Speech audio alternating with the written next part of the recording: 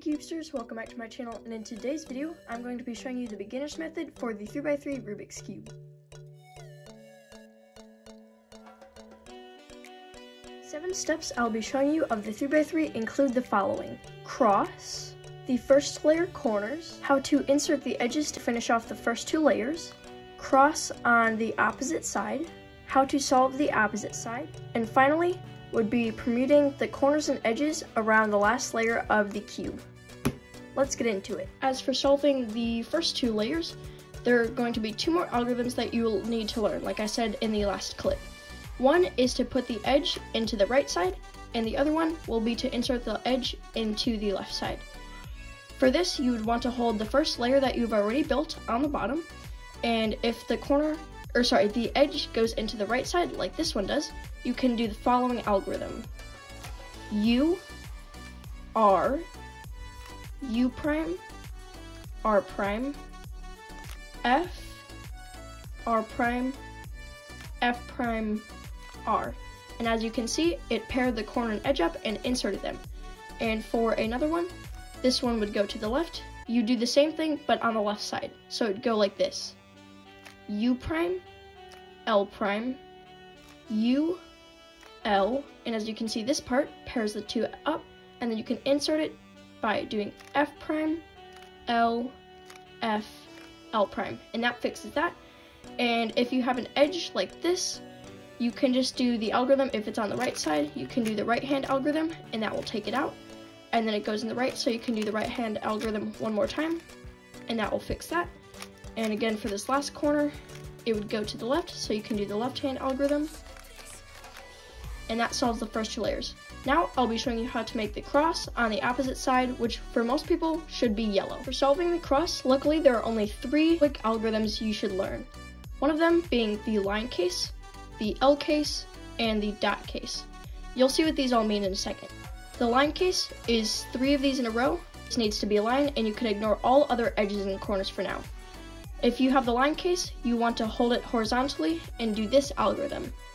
F, R, U, R prime, U prime, F prime. Or you can just remember it as F, the righty alg, and then F prime. The next case is the L case, where it makes the, uh, the shape of a small L, and you want to hold it in the bottom right corner, and you do this algorithm. Wide F, righty algorithm, wide f prime, and that solves the cross.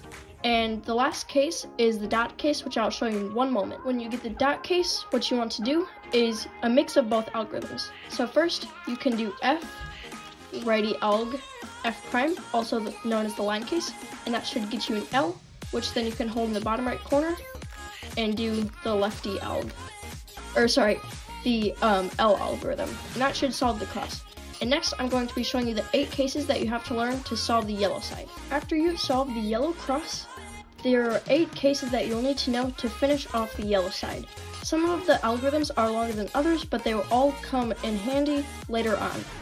The first few algorithms are some of the most common, and some of them even have names, such as the one on my cube right now. This one looks like a fish shape, and this yellow corner, when the fish head is in the bottom left, is facing you. This algorithm is known as Sune. To fix this case, you can do R, U, R prime, U, R, U2, R prime.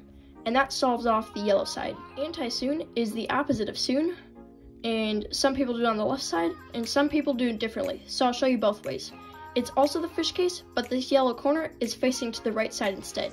So some people put the fish head in the bottom right, and do a left Sune, which is L prime, U prime, L, U prime, L prime, U2, L. But other people can also do it this way, like I do. Put the fish head in the top right corner and do this algorithm. R, U2, R prime, U prime, R, U prime, R prime. And as you can see, that finished off the yellow side. Another simple learn case, which I call the bow tie case, looks like a bow tie and it has two corners that need to be fixed. Hold the right corner. If you hold the cube like this, you want the right corner facing you, and do this algorithm.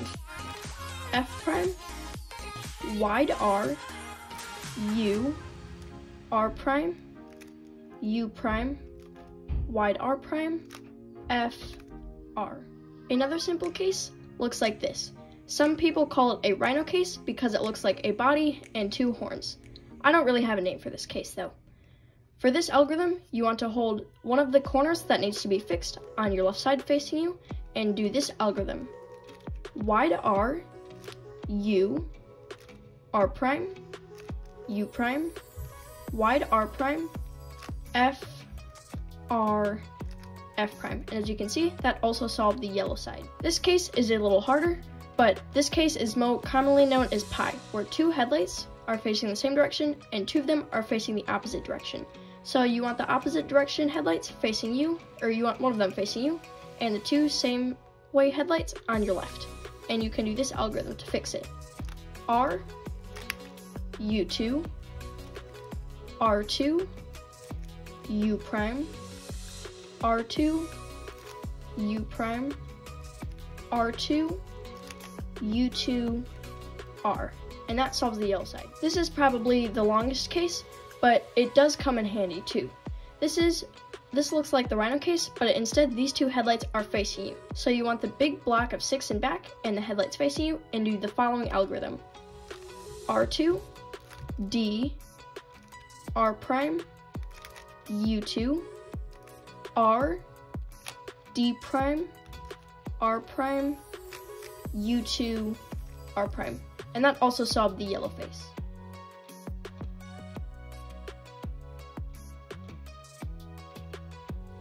After you finish solving the yellow side, the next step, and also one of the final steps, is to fix around the yellow side to orient the edges and corners. And for this, I'm going to be teaching you a few algorithms. The first step is to see if you have what are called headlights, where there are two corners that have the same color and one is different, or you might also end up with a bar of the same color. If you have headlights or a bar of the same color, you want to rotate the cube until it is in the back and then you can do this algorithm to fix it and set up the next four cases that I will be teaching you. R prime, F, R prime, B2, R, F prime, R prime, B2, R2. Now, there's going to be four cases I'll teach you to finish off the last layer, including the H perm, the Z perm, and also the 2U perm, and also this one. Probably my favorite case, or one of my favorites, is the H-perm. You can recognize this case when you line up the corners and you have four edges that swap oppositely. So orange to red and red to orange, blue to blue, and green to green. You can hold this from any corner or edge, doesn't matter, you just have to fix afterwards. But if you don't want to fix the top layer after you're done doing the algorithm, just line up the corners. For this case, it goes like this. And it is a little bit advanced, but you should get used to it after a while. M2, which is the middle layer, U prime, M2, U2, M2 to line this back up, U prime to line this bar up, and you can do R2, L2 to fix it, or if you're more advanced, you can just do an M2. For the Z perm, you can recognize this if you line up all the corners, and there are two adjacent edges that need to swap. You want to hold it with two edges that need to swap, and you want to hold the left one facing you. And this algorithm is also a little harder than the others, but you should get used to it with some practice and time put into it. And this algorithm goes like this. M prime, U prime, M2, U prime, M2, U prime, M prime, U2, M2, U. And that fixes the Z perm. One of the U perms you can recognize by looking at the left, and this has an opposite edge as to the corner. As you can tell, green is opposite of blue. So for this case, you can do it with L and U moves, and it goes like this. L prime, U, L prime, U prime, L prime, U prime, L prime, U, L prime, U, L2, and that fixes that U perm. If you have the other U perm, where the edge on the right is opposite from the corner, you can do the same thing but on the right side, with the algorithm being this. R, U prime, R, U, R, U, R, U prime, R prime, U prime, R2. And that fixes that U prime. Well, thanks for watching my tutorial on the 3x3 Rubik's Cube. If you did enjoy, don't forget to like, and if you want more content like this, you can also turn on post notifications. If you do like my content, then you can subscribe, and my socials will be in the description. Thanks for watching, and if you have any questions or concerns, feel free to comment them down below. Have a great day or night. Bye, Cubesters!